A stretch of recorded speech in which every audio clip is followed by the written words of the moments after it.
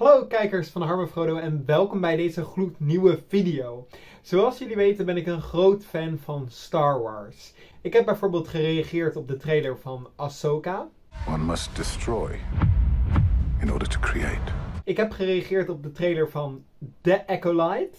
I sensed darkness. En nu komt op 4 mei de nieuwe serie uit van Star Wars met de naam Tales of the Empire. En vandaag gaan we reageren op die serie. It's called capitalism. This world must die.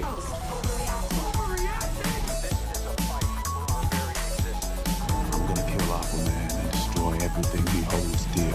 Yeah, I'm Batman. Don't even get me started on Doctor Strange and a little nerd back on Earth 1999. Vorig jaar kwam de serie uit Tales of the Jedi, wat een soort Clone Wars Bad Batch sequel prequel was. En daarin ging het over Ahsoka en over Count Dooku. En nu komt een nieuwe serie uit, namelijk Tales of the Empire. En dat gaat over Morgan Elsbeth. En ook over Barriss. En laten we meteen gaan kijken naar de trailer. Why do you seek imperial favor? Years ago, my people were all but destroyed. De trailer begint met een flashback naar seizoen 4 van de Clone Wars, waarin de droids onder leiding van General Grievous de planeet van de Night Sisters, Dathomir, aanvallen. My anger gives me strength. It is that strength I offer the Empire. Offer accepted. En vervolgens zie je Morgan Elsbeth in gesprek met General Thrawn, die we ook samen hebben gezien in de live-action serie Ahsoka. I'm here to present you with an opportunity, Barris. Just be glad you're not a Jedi anymore.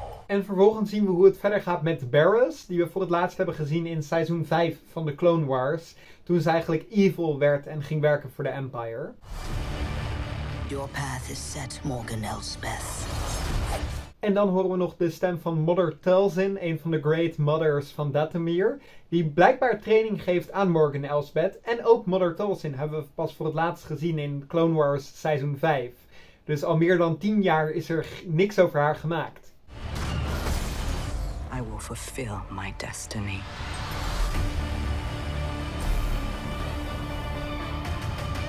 Mercy only breeds defeat. En in dit grote feest van herkenning zien we ook de Grand Inquisitor, die we voor het allerlaatst zagen in Obi-Wan Kenobi, waar hij geportretteerd werd door Rupert Friend, een supergoeie acteur.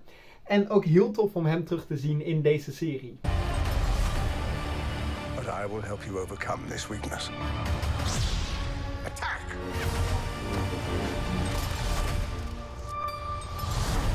You said the Empire would help to change things. Everything comes at a cost. En dan zien we Morgan Elsbeth met de spear van Beskar in The New Republic. En dat is ook wel heel cool om te zien, dat we eigenlijk weten dat dit zich al afspeelt na de originele Star Wars trilogie.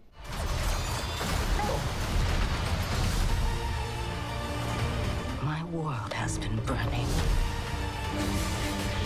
since I was a child. En daar zagen we General Grievous, die we pas voor het laatst hebben gezien in seizoen 6 van de Clone Wars. Die je ook ziet in een soort flashback het opnemen tegen Morgan Elsbeth. En dat is ook wel super gaaf om te zien, ondanks dat je weet dat ze het allebei dat gevecht hebben overleefd. Als je de saga goed gevolgd hebt. You cannot stop what has begun. En dan zien we Barriss als Inquisitor. En dat is ook cool om te zien. Misschien zien we die toch nog wel terug in live action, want ze is in ieder geval nog niet dood. Now you must face one final test. To join us.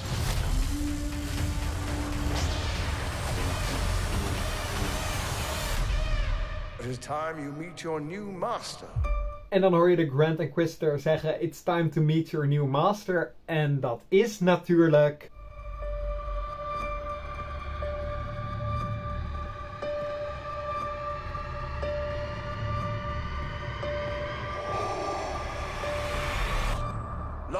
Live the Empire. En zo gaaf om Darth Vader weer terug te zien in deze serie. Ook al zijn het maar shorts, ook al zijn het maar zes afleveringen. Ik zie er ontzettend naar uit. Laat me zeker weten of jij Tales of the Empire gaat kijken en wat je vond van Tales of the Jedi als je dat gezien hebt. Het komt allemaal 4 mei uit op Disney Plus, allemaal in één keer. Dus dan kan je het meteen bingen. Laat me ook meteen in de reacties hieronder weten waar ik volgende week op moet reageren. Dan ga ik dat zeker doen. En dan zie ik jullie dan weer. Tot ziens, tot later.